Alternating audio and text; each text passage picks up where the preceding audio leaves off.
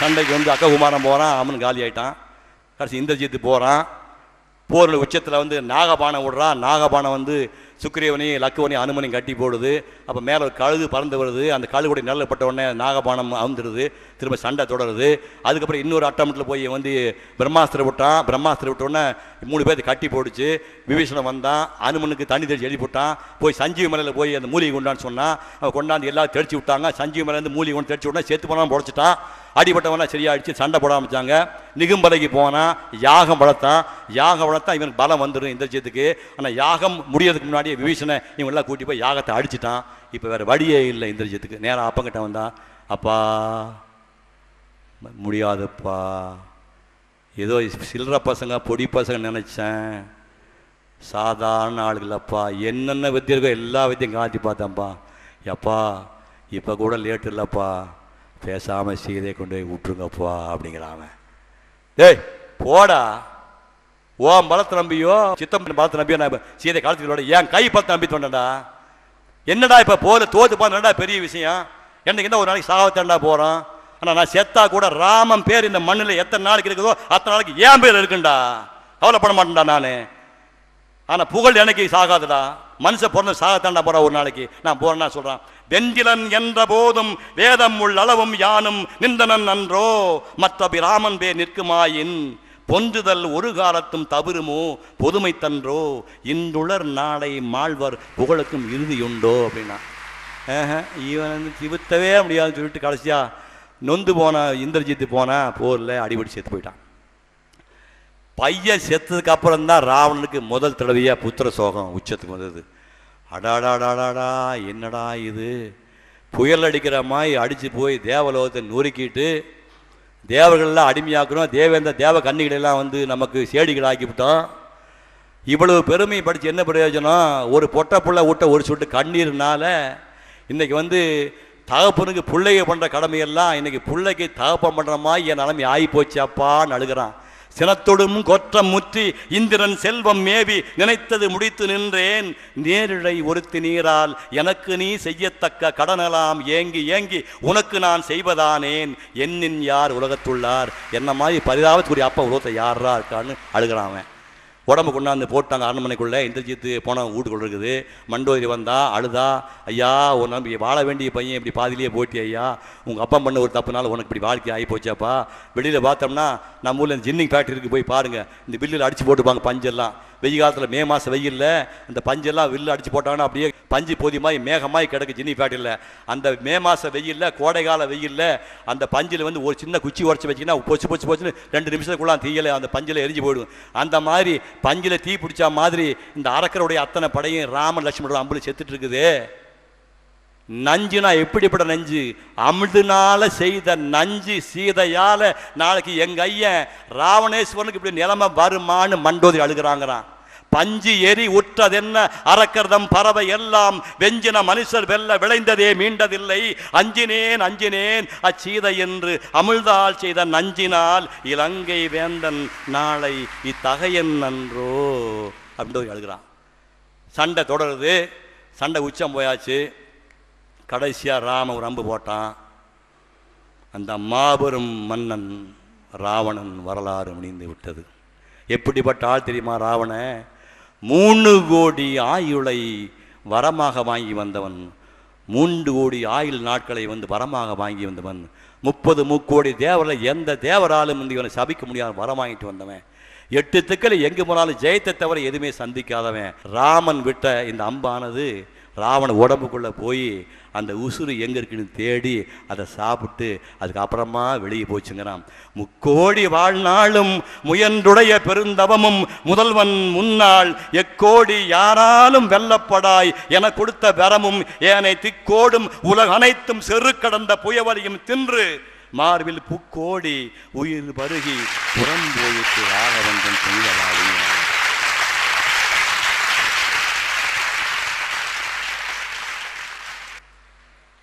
விபீஷணன் வந்து பார்க்குறான். அண்ணன் செத்து போய் கிடக்கிறான். எவ்வளோ பெரிய ராஜா நீ. வாழ்க்கையிலே போர் மகளையும் கலைமகளையும் புகழ் மகளை தவிர வேறு யாரையுமே நீ சந்திக்காதவன்.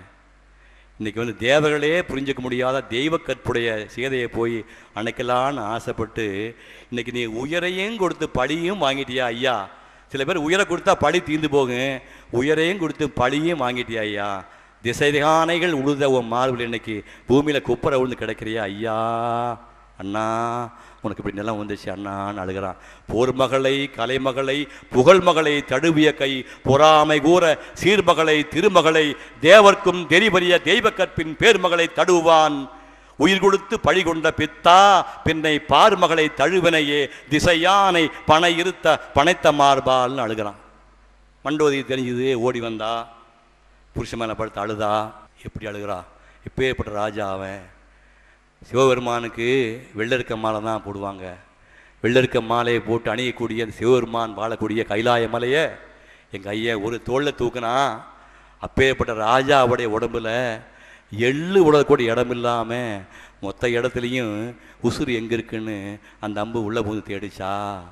கல் உரக்கூடிய அந்த மலரை தலையிலே சூடி கொள்கின்ற இந்த சீதையை மனச்சரியிலே கறந்த காதல் உள்ளிருக்கு நினைச்சுக்கிட்டு அந்த அம்பு போய் தேடிச்சாயான்னு கேட்கிறான் வெள்ளருக்கஞ்சடைமுடியான் வெட்படுத்த திருமேனி மேலும் கீழும் எள்ளிருக்கும் இடமின்றி உயிர் இருக்கும் நிறம் நாடி இழைத்தவாரோ கல்லிருக்கும் மலர் கூந்தல் சானகையை மனச்சரியில் கறந்த காதல் உள்ளிருக்கும் என கருதி உடல் புகுந்து தரவியதோ ஒருவன் பாலி. சாமானம் முடிந்துவிட்டது அசோகவந்த சீதை இருக்கிறான். ராமன் விபீஷன் அனுப்புனா தம்பி போடா போய் சீதை கூட்டிட்டு வானா. அவள் காஞ்சி கருவாடாக இருக்கிறா. இல்லை இல்லை மணக்கோலம் மூணு பட்டுப்படை உடுத்தி அலங்காரம் பண்ணிட்டுவான்னு சொன்னான் ஏ சாக போகிற நேரத்தில் போய் இது அலங்காரம் பண்ண சொல்கிறேன் என்ன யார் பண்ணி சொல்லிருக்கேன்ல இல்லை இல்லை எங்கள் அண்ணன் அப்படி தான் சொன்னார். நீ கண்டிப்பாக மணக்கோலம் மூணு வரணும்னா என்னடா கொடுமையாக இருக்குன்னு சரி வழி இல்லை. புருஷனை பார்க்க போகும்போது புருஷன் சொன்ன மாதிரி கேட்காம இருக்க முடியுமா? எத்தனை நிறைய தப்புகள் பண்ணியிருக்கோமேன்ட்டு சரின்னு அலங்கோலம் பண்ணிட்டு வர்றா. இங்கே ராமுனை வந்துன்னா ஐயா மன்னிக்கணு நிறையா தமிழ் படித்த பேராசிரியர் மன்னிக்கணு. ராமன் கொடுமையான ஒரு ஒரு கேள்வி கேட்குறான் அவங்ககிட்ட அது வந்து மூளை செலவையா? இல்லை உலகத்துக்கு நிரூபிக்கவா? இவன் கற்பு கசு நிரூபிக்க? என்னன்னு எனக்கு தெரியாது. அவன் என்ன கேட்டான் தெரியுமா?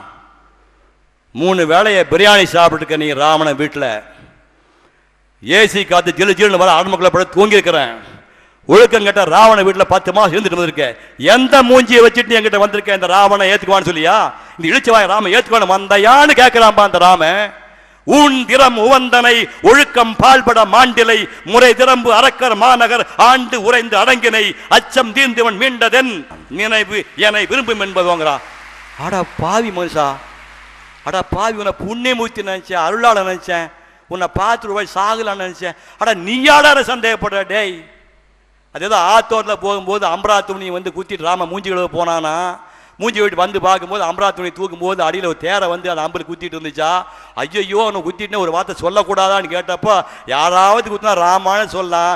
ராமனே குத்திட்டானா? யார்கிட்ட போய் கேட்பேன்னு தேரை சொல்லிச்சான் அப்பேற்பட்ட ராம டேய் நீயாடா அப்படி சொல்கிறேன் சொல்கிறாமா அப்படி அடுத்தவன் கடத்திட்டு போயிட்டானேங்கிற ஒரே காரணத்துக்காக நான் வந்து போரிட்டு காப்பாற்றுனேன் செத்துக்கோ.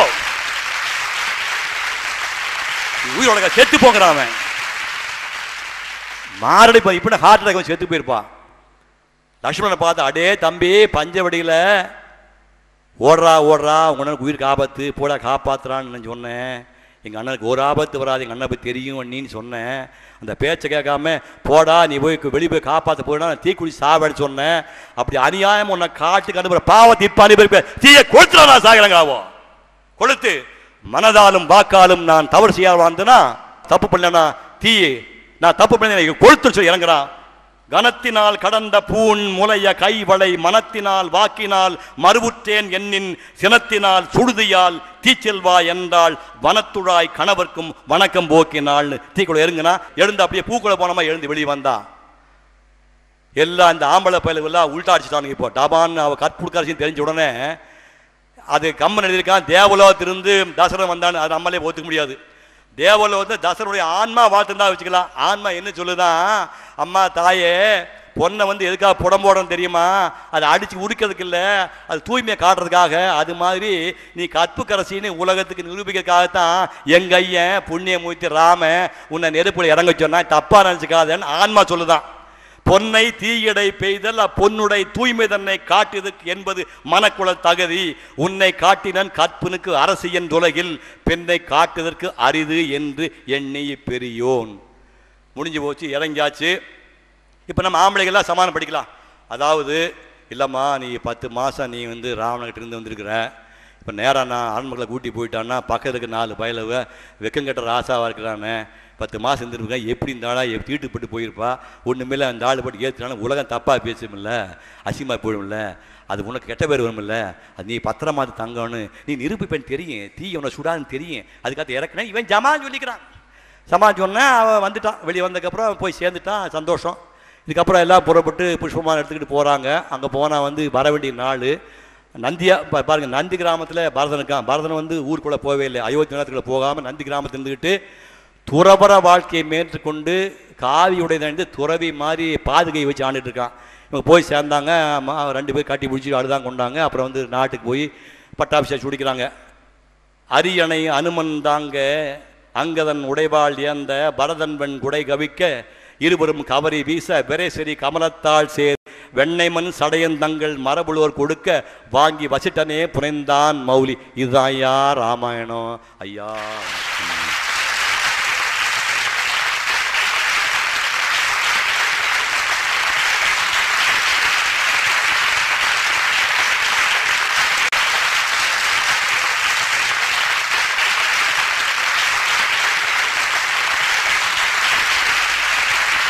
இவ்வளவு பொறுமையா கேட்ட என் குழந்தைகளிலிருந்து பெரியவனுக்கு அத்தனை பேர் பாதம் தொட்டு வணங்குகிறேன்.